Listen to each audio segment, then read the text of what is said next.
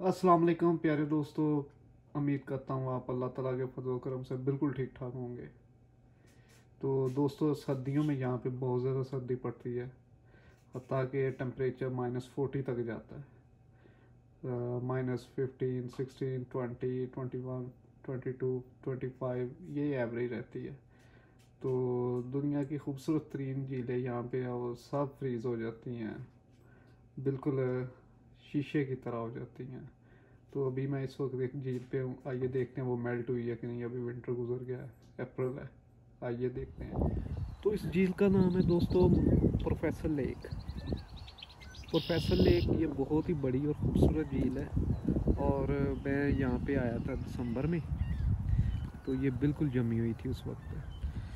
जैसा कि मैंने आपको बताया कि यहाँ पे टम्परेचर होता है माइनस फोर्टी तक जाता है, यानी minus twenty twenty five round about ये नॉर्मल रहता है। तो सर्दियों में यहाँ पे झीलें जो है ना, वो मेल्ट हो जाती हैं। और यहाँ पे दुनिया की खूबसूरत तरीन झीलें हैं। तो दिसंबर में जब मैं यहाँ पे आया तो बिल्कुल इसी जगह पे मैंने सामने बिल्कुल यहाँ पे फ़ोटो सेशन भी किया हमने। और लोग स्केटिंग कर रहे थे चिल कर रहे थे, हंस रहे थे, खेल रहे थे, बड़ा मतलब इतनी तो मैंने सोचा अभी अप्रैल है, लेकिन ठंड फिर भी है अभी।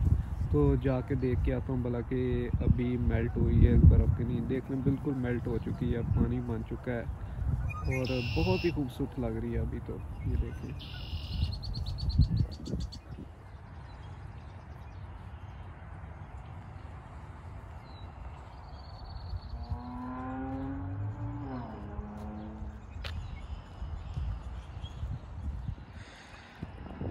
यहाँ पे डिफरेंट ओपिनियन पाई जाती हैं। कुछ लोग कहते हैं ये बहुत गहरी है और काफ़ी पानी है इसमें। कुछ लोग कहते हैं कि नॉर्मल ही है। लेकिन जो पानी का बहाव है लेवल है, उससे लग रहा है कि गहराई इसकी अच्छी खासी है वैसे। तो वैसे भी यहाँ पे दुनिया की खूबसूरत तरीन झीलें हैं। और सर्दियों में जब लोग यहाँ पे वो स्केटिंग करते हैं या इसके ऊपर आते जाते हैं तो वार्निंग दी जाती है कि अपनी रिस्पॉन्सिबिलिटी पे, खुद रिस्पॉन्सिबल अगर किसी को मसला होता है। दोस्तों यहाँ पे काफ़ी लोग फिशिंग भी करते हैं।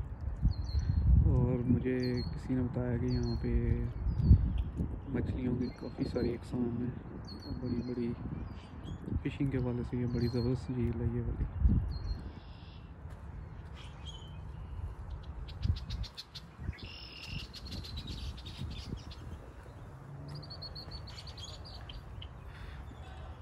ये देखिए सेफ्टी अलर्ट्स